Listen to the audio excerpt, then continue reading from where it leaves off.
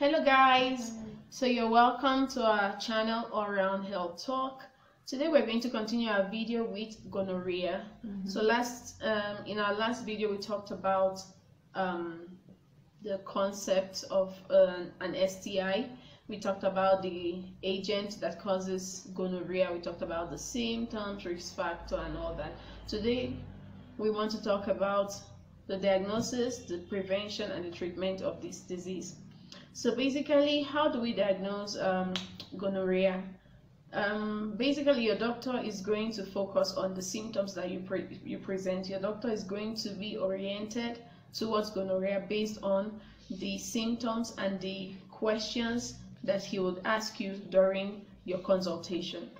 The main um, form of um, diagnosing this disease is by a culture yeah in this case your doctor will take a specimen from your throat or from your um, vagina your anus your penis for the men your um, urethra and your cervix right? He'll take a specimen and this specimen he's going to place in a in a kind of environment that permits the growth of the gonorrhea bacteria which is what we call the culture so if this bacteria grows in the specimen, then it's a confirmation that you have gonorrhea. So like that's the main way of diagnosing gonorrhea. And also in the process of doing the culture, um, your doctor might also want to do an antibiogram at the same time while doing the culture. This antibiogram tells your um, doctor which antibiotics the gonorrhea bacteria is sensitive to so he knows which antibiotic to give you for treatment. Another way you can um, diagnose um, gonorrhea is through a gram stain, still on the same specimen, but we're using different um, reactive agents in this case. So um, apart from the gram stain, the culture, you can also do other blood tests, but the most specific one would be a culture to diagnose gonorrhea. Next is prevention. How do we prevent gonorrhea? Now, the surest way to prevent gonorrhea is by abstinence, right? Because gonorrhea is an STI and it's, the, it's a disease that is mainly transmitted through sexual intercourse. So the surest way not to get gonorrhea is to abstain from sexual intercourse. But if you're already a sexually active person, there are some measures that you have to practice in order to reduce your chances of getting gonorrhea. The first one is the safe sex. You have to use a condom. You have to use a condom. Each time you have sexual intercourse, you have to use a condom. Before contact is made between your genitals, make sure that the man already has the condom on before contact is made. That way you reduce your chances of getting gonorrhea. Next is when you notice your partner has symptoms of gonorrhea, do not engage in sexual, sexual intercourse. Do not. Because it's a highly contagious disease. If you overlook those signs and you go ahead, you are increasing your chances of getting gonorrhea. So please watch out for that. That's why it's very important to watch our videos eh? so that you know the symptoms and signs of gonorrhea, right? Next is when you get a new partner, right? You get a new partner who you're intimate with. Try to make sure that he or she gets tested before you engage in any intimate relations with that person. Make sure that the person gets tested for all STIs that there are, please, so that you can reduce your chances of getting gonorrhea. And then try to maintain one sexual partner.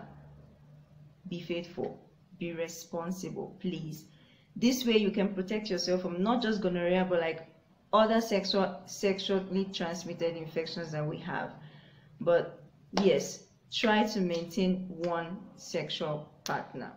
And lastly, try to always get regular checkups if you don't get regular checkups, there's no way that you can know if you have an STI or not. And there's no way that you can know if your partner has an STI or not. So sit down and talk with your doctor and come up with a, with a plan on how frequently you need to go for regular checkups. This way you can keep track of your health status and know if you have any of these STIs. Okay, so we want to talk about um, treatment. How do we treat gonorrhea in the case that you already have gonorrhea?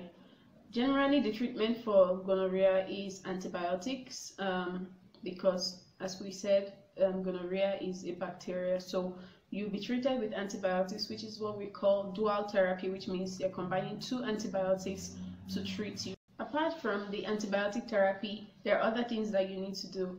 For example, you need to abstain from sexual intercourse at least until seven days after you have started your treatment and until your symptoms have completely disappeared.